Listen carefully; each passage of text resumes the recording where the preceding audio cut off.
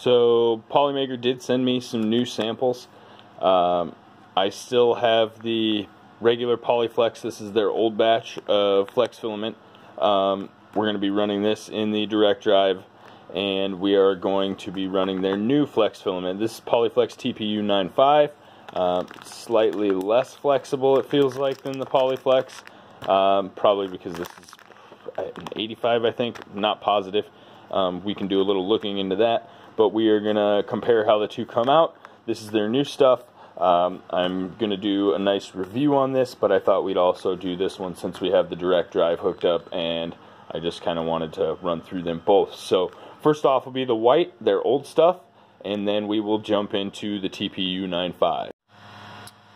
Alright, and after jam after jam, um, my filament seems to want to pop out not only out of the front or get wrapped around that axle and this bearing. It is just not flowing. So I've reduced my speed um, all the way down to 54% making something that is a one hour print in PLA and was a two hour print with the last one I tried uh, uh, a four hour print. Now um, I don't have time for this because it's jammed repeatedly. So I'm going to skip to this. I'll save this for another video. We'll see uh, if we can find the perfect settings for actually using it. But this leads me to believe that there is a reason that the new stuff, the new Polyflex they put out is a little bit more rigid. So we're going to throw this on the machine and hopefully we get a much better result than we did with their old Polyflex because uh, I, for the life of me, just cannot dial in the settings. I'm going to have to tinker with that. Alright, you see that TPU is a nasty bit of business. I couldn't quite get it all off the bed there. I suppose I should have let it cool and scraped it up. um, but we are getting some printing now.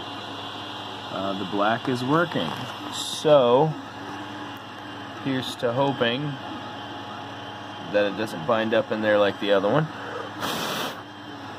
Alright aside from the nasty little mess of what was left of that white stuff in the barrel there, um, this is actually looking pretty clean.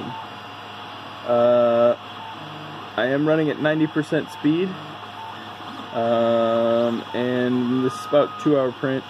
Same size as the other one that I printed in the 3D Solutech, although I will say this one looks much, much better from the outside, maybe it's just because it doesn't have that translucent quality where I can see the air bubbles inside. Um, but we are doing splendidly so far. No jams, cross your fingers, knock on wood. And this stuff is flowing way better than the old Polyflex, which uh, I found to be too spongy and uh, it's almost like a giant rubber band. It was really, really elastic. Um, this stuff's got a lot of give to it too, but not quite as bad. Like I said, this is a TPU 95, so um, a little bit more rigid than the old stuff. And I'm definitely digging the upgrade they have made to it so far. Alright, this is the only successful model I got out of the Polyflex on the direct drive. Um, it was giving me issues. I just couldn't get things to come out consistently. I tried printing a couple other models um, as you saw, I had a lot of trouble with the white, uh, which is their older Polyflex on the direct drive. Um, but I did, after switching back to the Bowden tube, get some pretty nice stuff. So I got this frog here. Um, this is done the same settings as the direct drive except through a Capricorn tube. Um, which I'm really impressed with so far. That Capricorn tube is working amazingly well for not uh, sticking to the filament or getting it bound up in there. Uh, and in fact, it was working so well with the Capricorn tube that I decided to give the white another go. And I actually uh, didn't even stop the machine. I pulled the filament and fed the white back in um, as it was making a layer change. And as you can see, I caught it just at the very top layer of this foot. That's why that looks a little blobby. Um, but that was just because there wouldn't have been black in those places anyway. It's an elevation thing. Um, so this guy came out a little bit stringy as well. I cleaned it up as best I could, but I'm very, very happy with this as well. Um, and being the old Polyflex, it is a lot squishier than this TPU 95. Um, they both came out pretty good actually. I'm printing an all white one now uh, just to kind of get a little bit better comparison, but I'm not going to do a video on that. I just wanted to show you guys that I did in fact get the old Polyflex working. Um, the secret apparently is not using the direct drive, but instead using a Capricorn Bowden tube. I'm not certain whether or not I would have had such luck with a regular PTFE. Um, I'm putting that Capricorn on to do some testing on that anyway, so we used that, and for the TPU especially, I think it was a really good test for the first round. Um, and honestly, that's a closer setup to your plug and play uh, direct load on, say, just a stock Ender 3 than modding it to the direct drive. So, because this worked so well on a regular machine without any modifications, I am going to give this a 5 out of 5. This is one of the better flex filaments that I've worked with. Um, I did get a decent model out of the direct drive, out of that 3D Solutech.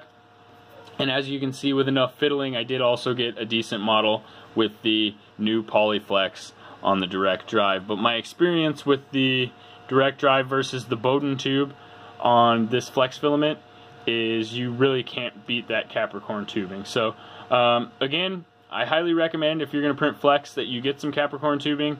Um, but as far as this filament goes, 5 out of 5. It was really good. And remember now we're talking about the new TPU 95. I just threw this in because I had the sample and I thought I'd give it a little comparison. Um, really the only difference, other than the obvious color difference, is that this one is a little bit more elastic than the, than the new, new version. So all in all, pretty pleasant printing experience. Details came out pretty well. These are printed at 0.2 millimeter layers, not 0.1, just so everybody's aware.